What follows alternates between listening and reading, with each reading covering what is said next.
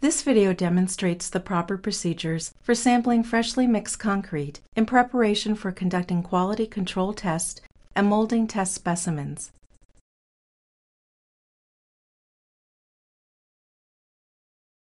This standard includes procedures for sampling concrete from stationary mixers, revolving drum truck mixers, open top units, agitating and non-agitating equipment, and when concrete is deposited on grade. Regardless of the production or delivery method, the primary objective when sampling is to obtain representative material from widely separated portions of a batch. Prior to taking any samples, be sure that on-site personnel are aware of your sampling plan, including both how and when samples are to be obtained. When test specimens are to be molded, samples shall be a minimum of 1 cubic foot. Smaller samples are permitted when routine air content, temperature, and slump tests are performed.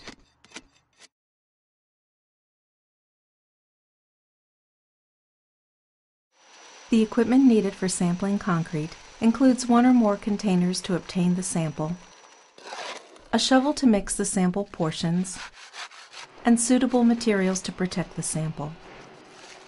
Also, equipment to perform the specified quality control test and mold appropriate test specimens will be needed.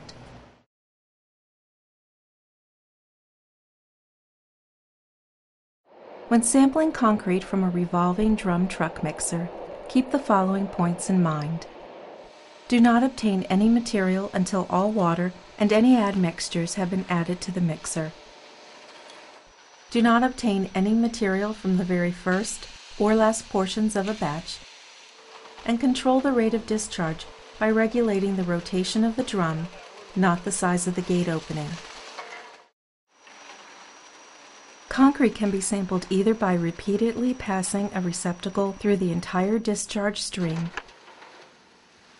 or by completely diverting the discharge into a container. Obtain two or more portions of material at regularly spaced intervals from the middle of the load. The elapsed time between obtaining the first and final portions of material shall not exceed 15 minutes.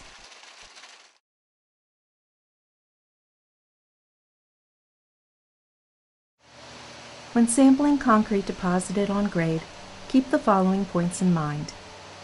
Sample the concrete after the contents of the mixer have been discharged, and avoid contamination or prolonged contact with the subgrade material. Obtain material from at least five different portions of the pile. The elapsed time between obtaining the first and final portions of material shall not exceed 15 minutes.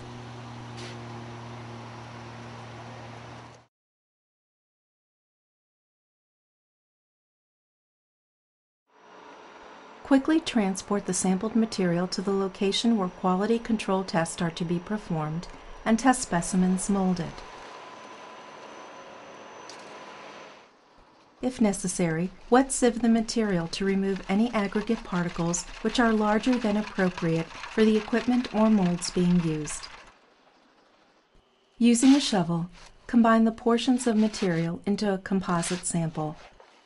Remix the minimum amount necessary to ensure uniformity and so as not to exceed any time limitations.